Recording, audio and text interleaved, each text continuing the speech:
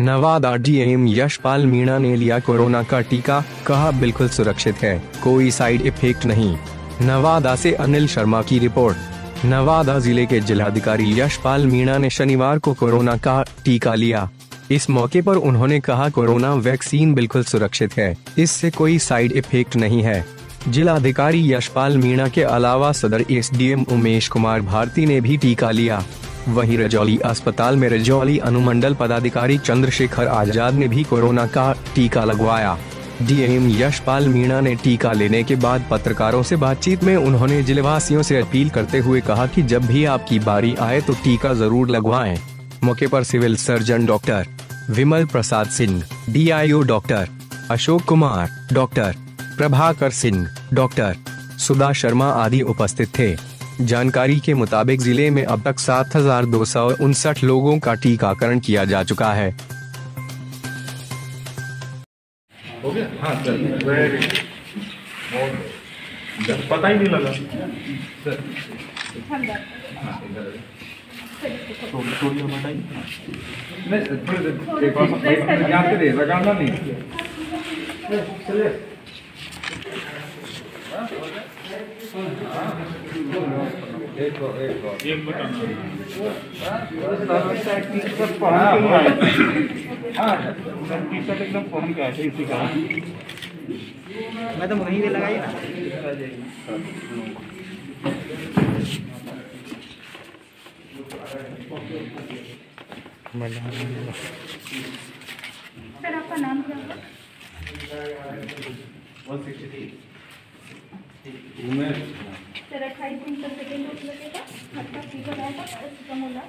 पता भी नहीं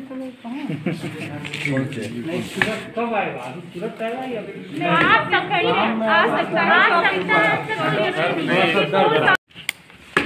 अच्छा आज आप हमको छः को पढ़िए तो अट्ठाईस दिन बाद आप दूसरा अट्ठाईस दिन के बाद सेकंड डोज पड़ेगा सर।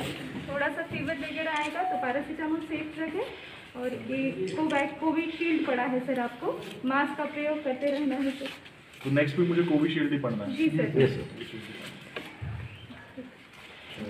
सेकेंड के फिफ्टीन डेज़ के बाद एंटीबॉडी हम बॉडी में नहीं तो फिर उस टाइम पे एंटीबॉडी टेस्ट अपना यहीं पे हो जाया करेगा। अभी तो जो नहीं हो पा रहा है। मतलब पटना जाके कराना जब वो ब्लड भिजवा दे आज 6 फरवरी 2021 से हम लोगों के यहाँ पे जो जो रेवेन्यू डिपार्टमेंट है और जो बाकी अन्य जो लाइन ऑफिसर्स हैं उन सबका वैक्सीनेशन शुरू हुआ है।